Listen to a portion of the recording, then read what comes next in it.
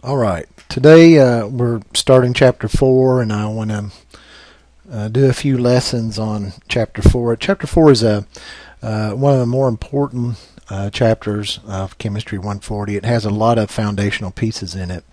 Uh, this chapter starts with talking about formula mass or atomic mass, and then we move into molar mass, and then from molar mass we talk in we talk about types of equations. Um, are they decomposition or replacement equations? Are they acid-base reactions or precipitation reactions? Uh, those are really important when we start talking about applying chemistry to uh, biology. And then um, the last part of uh, chapter 4 is about stoichiometry problems. And stoichiometry problems are prevalent not only in 140 but also 170, 180, uh, it's a very important concept, and, and, it is the most important concept out of chapter four. So, starting off with um, uh, mass, we've talked about mass a little bit. Uh, when we look at uh, carbon on the periodic table, it weighs 12.011 grams. And remember where that comes from. Uh, that an atom of carbon, one atom of carbon, let's say carbon 12, um, means that it has um, a mass number of 12. Uh, and the, remember, the mass number is the number of protons plus neutrons. And if we subtract off the atomic number, which for carbon is uh, 6, then we have the number of neutrons, 6 neutrons. Now, the mass uh, of an individual atom is very, very small.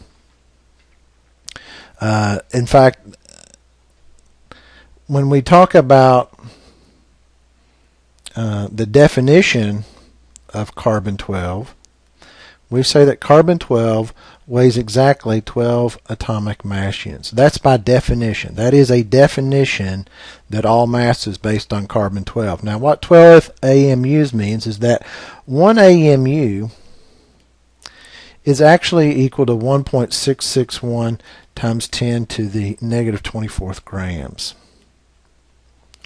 So we can see this number here is not translating to this number here. Uh, this would be a very, very small number, 1.661 times 10 to the negative 24th. And if we multiplied that by um, 6 for the neutrons and 6 for the, atom, uh, for the number of protons, uh, we wouldn't get anywhere near 12.011. So what's going on here? Well, we define that one atom of carbon 12 weighs exactly 12 atomic mass units. Uh,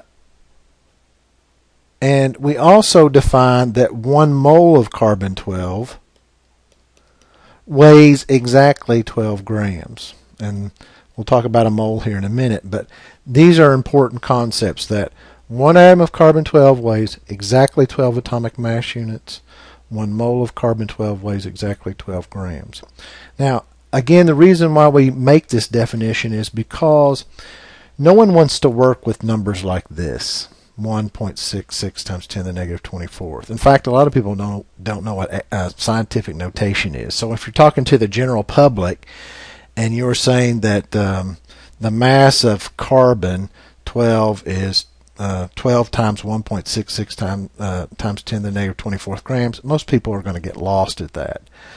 But we can do this. We can say that one proton weighs approximately one atomic mass unit and one neutron weighs approximately one atomic mass unit. So, carbon having six protons and six neutrons, each one of these weighing one atomic mass unit, and each one of the neutrons weighing one atomic mass unit, that's where we get that the total mass of carbon 12 is 12 atomic mass units. So this was defined first, but from this definition, uh, we actually come up with this definition that each proton's one ato- approximately one atomic mass unit and each neutron's approximately one atomic mass unit. Uh, So carbon with the mass number of 12 weighs exactly 12 atomic uh, mass units. Carbon 12 does. Now, you, again, let's go back to this number. Or let's do this. One atom of carbon, just one atom of carbon. We say one atom of carbon. That weighs exactly 12.011 AMUs. Now, this is an average. Remember, the 12.011 AMUs is an average uh, mass for carbon. So remember how we get this number is we had to find the isotopes of carbon. There's a carbon 12, there's a carbon 14. We need to define the percent relative abundance. We multiply that percent by the actual mass of these two isotopes and we add those together and we get the average. In this case 12.011 atomic mass units. Now AMUs, we only use AMUs when we're talking about individual atoms or molecules. We don't use grams that we see here until we get into quantities that are of the size of a mole. All right.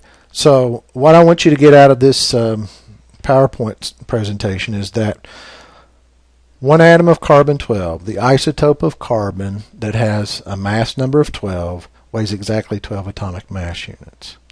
One mole of carbon 12 which means we have Avogadro's number, which will be coming up in the next lesson, weighs exactly 12 grams. So when we're talking about things in terms of AMUs, we're talking about individual atoms or individual molecules. When we're talking about things in terms of grams, we're talking about a molar quantity. And we'll talk about that in the next lesson. I hope this helps, and I hope that you see that this is the defining point of all atomic masses on the periodic table. All masses are relative to carbon 12 at 12 atomic mass units.